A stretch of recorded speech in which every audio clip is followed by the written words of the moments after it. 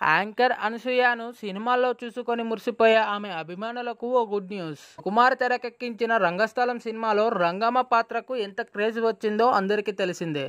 ఆ క్రేజ్ను దృష్టిలో పెట్టుకునే పుష్ప సినిమాలోనూ యాంకర్ అనసూయ సుకుమార్ ఓ పాత్ర పోషించే అవకాశం ఇచ్చిన సంగతి కూడా తెలిసిందే. అయితే స్టైలిష్ స్టార్ అల్లు అర్జున్ హీరోగా తెరకెక్కిస్తున్న పుష్ప సినిమాను పార్ట్ వన్ పార్ట్ టూ అని రెండు భాగాలుగా విడుదల చేయాలనే నిర్ణయానికి వచ్చాడు దర్శకుడు సుకుమార్. ఆ మేరకు కథకు అనుగుణంగా ఎక్కడ ఫ్లో దెబ్బతినకుండా యాంకర్ అనసూయ పాత్ర నిడివిని కూడా పెంచాలని డిసైడ్ అయినట్లు ఫిలిం నగర్ టాక్.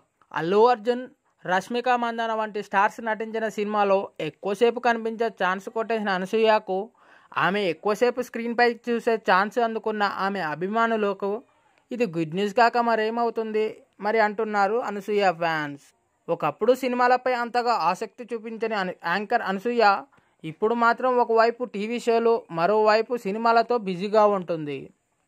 దీపం ఉన్నప్పుడే ఇల్లు చక్కబెట్టుకోవాలనే ఆలోచనలో అయి ఉంటుందేమో అందుకు తగినట్టుగానే ఇప్పుడు పుష్ప మూవీకి మరికొన్ని డేట్స్ కేటాయించిన సంగతికి తెలిసిందే.